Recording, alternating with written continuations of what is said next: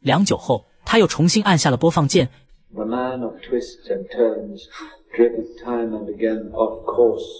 一段段穿越岁月的录音，将他们紧紧连接在了一起。就这样，米夏不断的录音寄出磁带，汉娜不断的收到包裹，将他们整齐的码在监牢的墙上。生活好像从此有了方向。这天，听到磁带中传来牵小狗的女人时，汉娜来到了监狱图书室，将这本书借了出来。他数着录音中的单词，对照书上的文本，圈出了第一个单词。一九八零年，米夏收到了一封信，里面只有一行字，字体稚嫩而工整。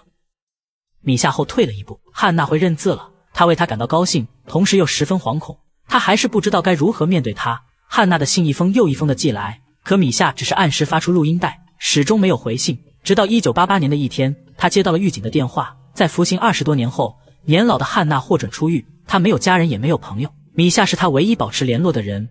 If you don't take responsibility for her, then Hannah has no future at all.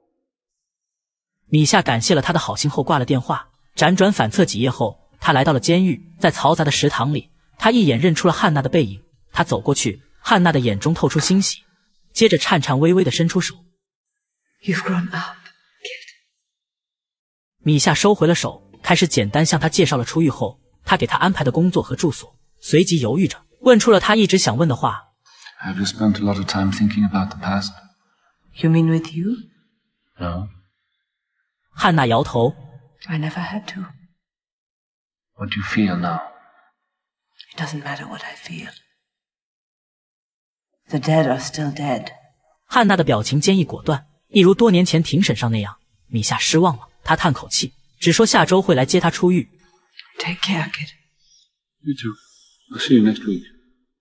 米夏毫不犹豫地转身走了，但在监狱大门外面，他驻足了很久。回到家后，他就开始布置汉娜的房间。一周后，他准时带着一束花来到监狱，却得知汉娜自杀了，他踩在书堆上吊死了。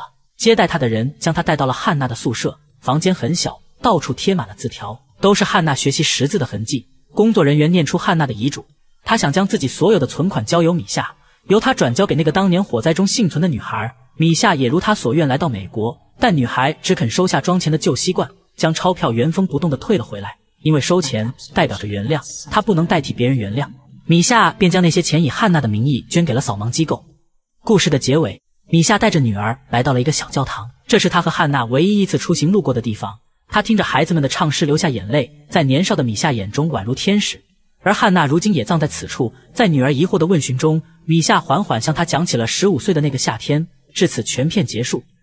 电影《朗读者》由德国作家本哈德的同名小说改编，讲述了十五岁少年结识了比自己大二十一岁的恋人，并被其影响一生的故事。影片中最打动人心的情节，无疑是汉娜宁愿遭受二十年牢狱，也不愿承认自己是文盲的时刻。但其实她牺牲的不止这些。纵观影片，可以发现。身为文盲的汉娜，工作能力很好。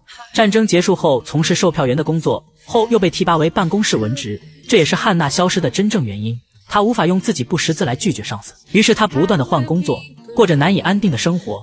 一个人究竟为什么要保守秘密？即便这个秘密要让他付出无比惨痛的代价？米夏曾经不明白，可当他面临这个难题，是要隐藏那个夏天的禁忌之恋，做一个人群中合理的正常的人，还是选择袒露自己曾与纳粹党人有染？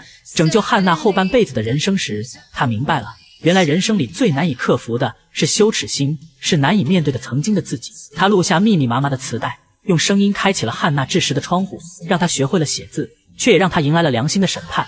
多年监狱的生活让汉娜对外界充满了恐惧，于是她像孩子依赖父母一样，期盼着米夏的原谅。可米夏只是缩回了手，连拥抱都没有施舍一个。于是他回到宿舍，脱下了鞋子，颤颤巍巍站上书堆。他真的懂了。可他无法用不擅长的语言表达忏悔，便以永久的死亡作为回应。